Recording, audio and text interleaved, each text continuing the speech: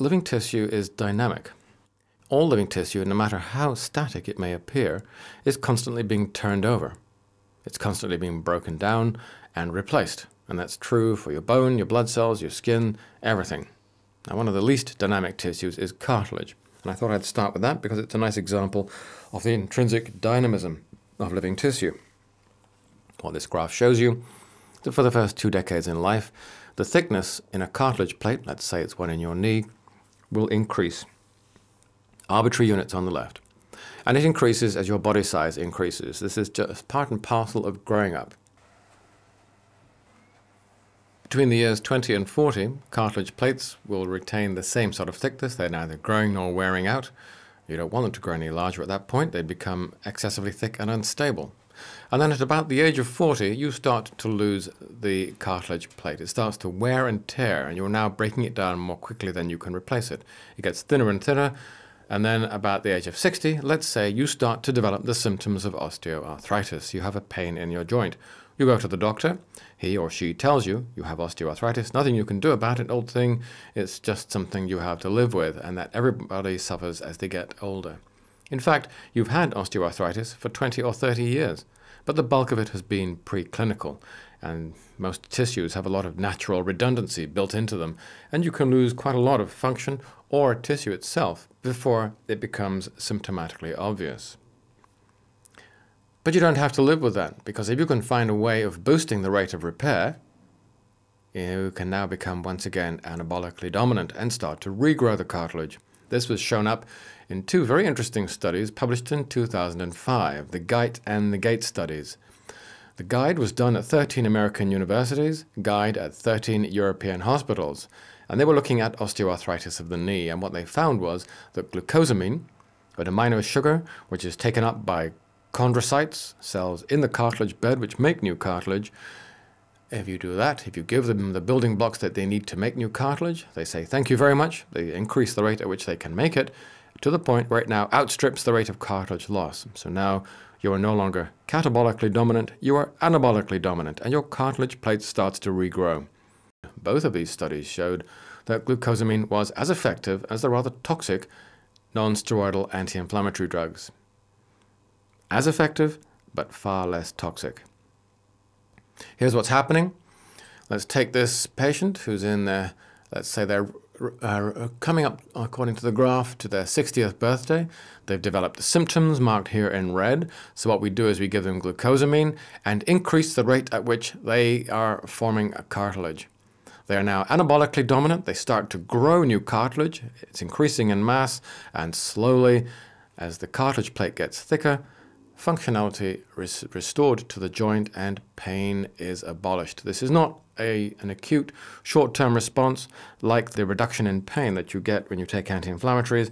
It takes rather longer, but this is profoundly more effective. It is, looks as if it's genuinely curative as opposed to merely treating symptoms. The same approach holds true for type 2 diabetes. This is a study that was carried out at the Massachusetts General Hospital. It was called the Diabetes Prevention Program. And in the group who were considered to be at risk of developing diabetes, over a period of 10 years, uh, they were taken through a program which ensured that they lost 7% of their weight. They took a very small amount of exercise. 150 minutes exercise a week is only 20 minutes a day, hardly an exhaustive program. And in this group, the risk of progressing to clinical diabetes was reduced by 60%. How effective is that compared to drugs?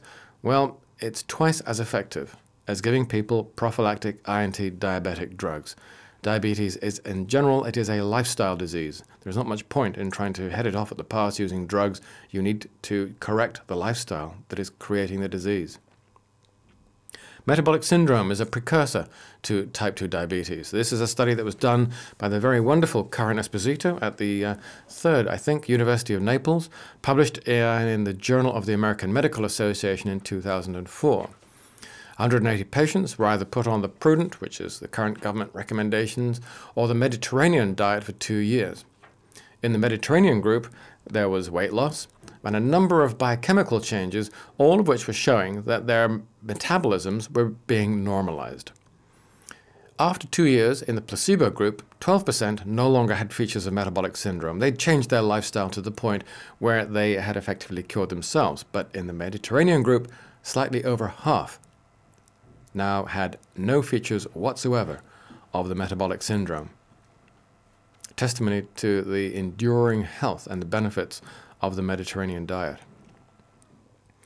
This is an earlier study carried out by Michel de Lorgeril, published in Circulation in 1999. The prevention of secondary coronary artery disease, in other words, people who'd already had one heart attack and didn't really want to have a second. Carried out in Lyon, therefore inevitably known as the Lion Heart Study, 600 patients studied for three years.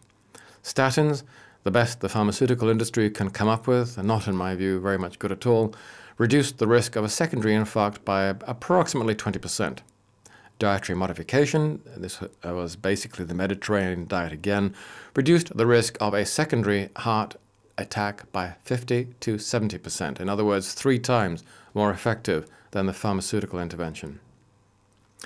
Can you use diet to reduce the risk of cancer? Well, this study by Dean Ornish, uh, who is, I think, at the University of California in Los Angeles, uh, was a prostate cancer prevention study 93 men with early prostate cancer, and he put them onto a intervention diet. Not, in my view, a particularly well-designed one. It was basically his cardiovascular risk reduction diet, and I think he could have done more. Nonetheless, he established proof of principle. PSA scores rose in the control group, which is pretty much what we expect. In those men who were on his particular risk reduction diet, PSA scores fell. Very interestingly, when you took serum from these two different groups, the prostate cancer cells in Petri dishes, their growth was inhibited to a small extent by serum from the control group, but serum from the diet group, in other words, all the things that had got into the bloodstream from the food that these people were eating, inhibited the cancer cells eight times more effectively. Does that matter clinically? Well, yes, the results suggest that it does. At the end of one year, out of the control group, 6 out of 46 required surgery for cancer. In the diet group, none of them required surgery cancers had been stabilized.